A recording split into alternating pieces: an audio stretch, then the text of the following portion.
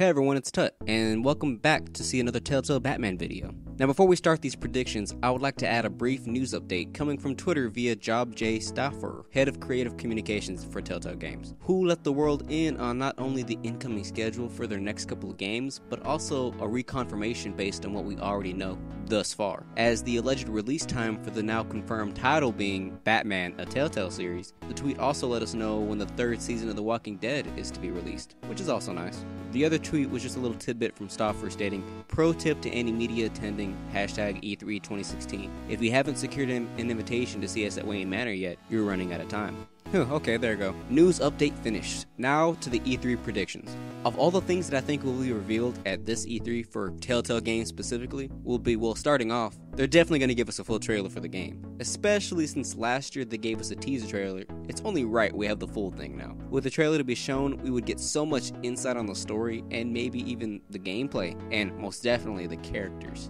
The next thing I think will be shown at E3 is, of course, a specific release date, since we have yet to have one, except for an ambiguous midsummer type of statement. Knowing this would also let us know the order on the episodes releases as well, and more of a chance of you getting a Let's Play from us. Lastly, this is wishful thinking, but I would hope we get a tech demo displaying the game in its full for all to see, if not maybe in secret with details being revealed afterwards, would be a great thing to push the mystery surrounding this game, but also the potential hype train that will come rolling after that.